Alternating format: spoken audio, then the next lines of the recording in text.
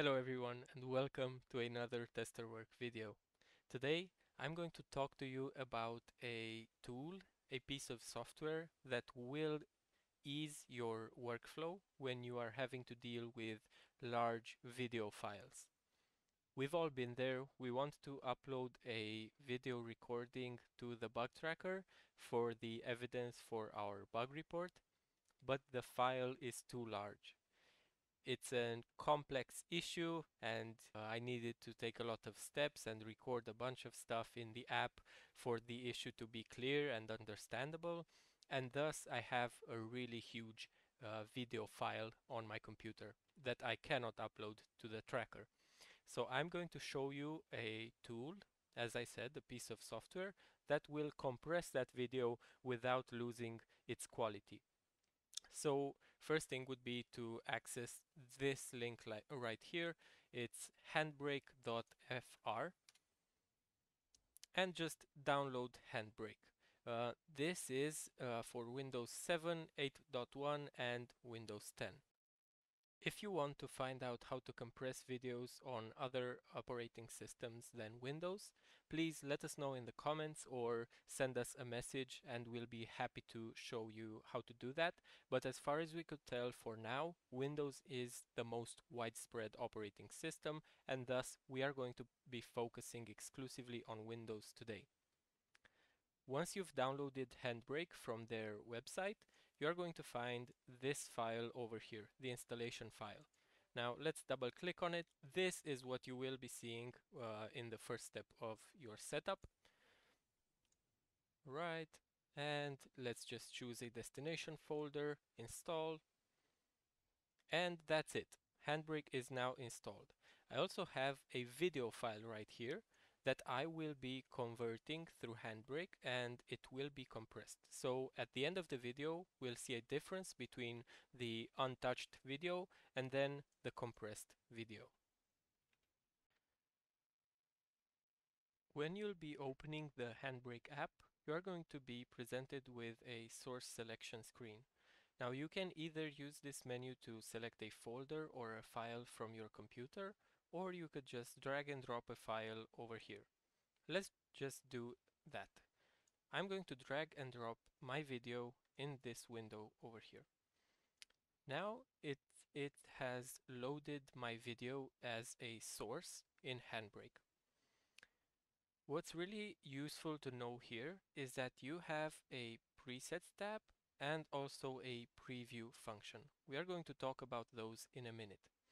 So our goal with this software is to compress our videos and eventually to have a smaller compatible version of our video for the bug tracker.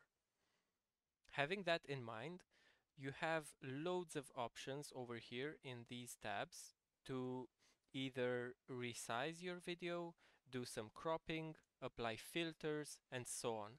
What would be interesting to note in these tabs is that you have an audio tab which allows you to remove the audio from your video file.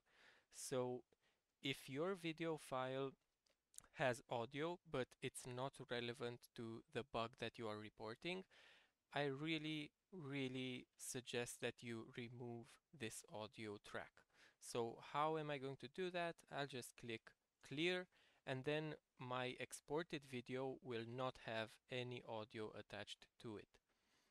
Do this in any scenario where you don't need the audio to emphasize your issue.